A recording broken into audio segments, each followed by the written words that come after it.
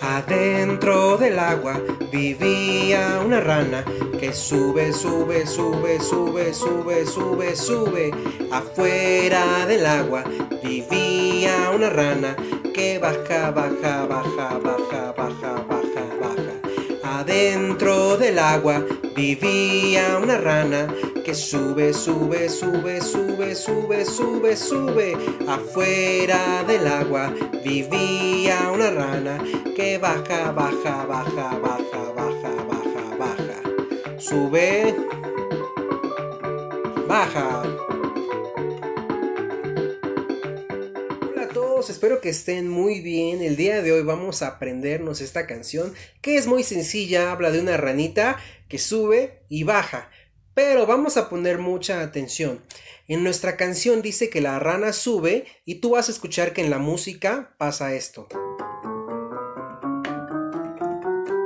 Eso es porque la música va de un sonido grave hacia un sonido más agudo. Es decir, nuestra escala musical, la escala de las notas musicales, va cambiando de abajo hacia arriba. Y cuando la ranita baje, vas a escuchar un sonido diferente. Entonces, cuando dice sube, cambiamos, vamos hacia arriba, apretando más las notas o tocando las notas más agudas. Y cuando dice baja,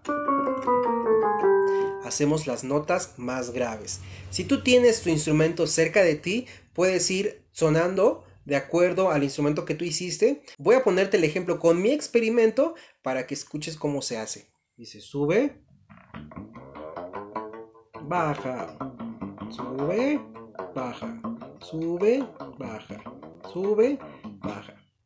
Adentro del agua vivía una rana que sube, sube, sube, sube, sube, sube.